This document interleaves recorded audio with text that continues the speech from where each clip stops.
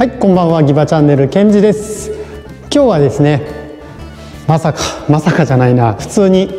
誕生日を迎えましたんでえー、っと本当はね週末にフラットでね40トリックやろうと思ったんですけどもういても立ってもいられないんでこのちびっこちっちゃい R で、えー、っと40トリックやろうと思います。40多分ね結構簡単なトリックとかね入れていくと思うんですけどできればいやぜひ最後まで見てください。本当ね寒いんでね今日とかね福岡北九州の方なんですけどこっちでもね、あのー、2日間ね雪降ってるんで結構寒いです。じゃあちょっとねウォーミングアップしてから挑戦しようと思いますんで最後までよろしくお願いします。えー、っとねせっかくね、あのー、40を迎えてしまいました。せっかくってなんでせっかくね、あのー、40になったんでね是非今ね登録されてない方チャンネル登録お願いします。今日まさかのね誕生日にね2人減りました。まあねよくあることなんでね気にせず頑張っていこうと思います。じゃあえっ、とウォーミングアップ入ります。でちょっとお付き合いください。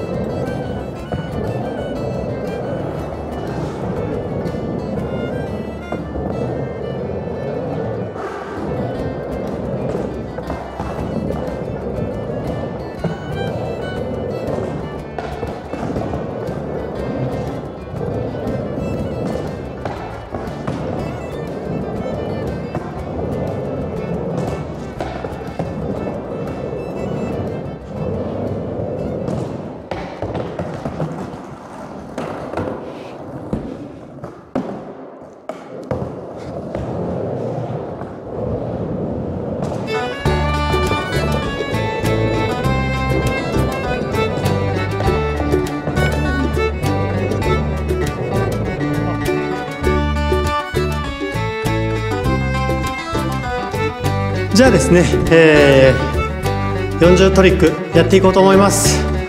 覚えれるかな？まあ適当に多分40ぐらいだろうと思うとこまでやってみます。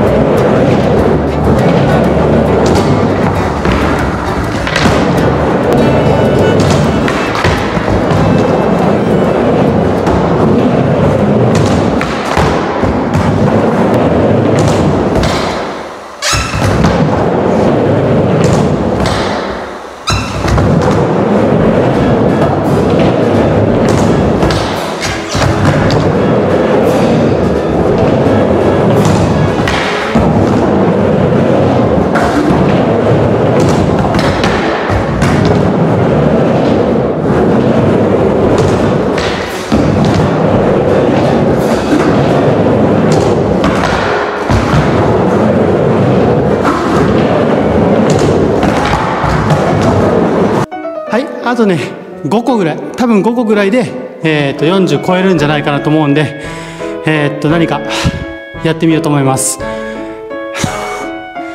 結構きついですね。じゃあもうちょっともうちょっともうちょっとお付き合いください。よいしょ